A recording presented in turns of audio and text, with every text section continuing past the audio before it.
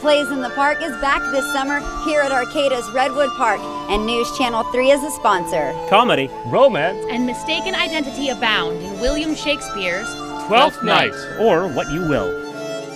Our family show, The Un Princess, is not your traditional princess story. It's a free performance filled with physical humor and colorful characters. Watch it Sundays in August at 2 p.m. Come to Plays in the Park. In the spirit of the North Coast.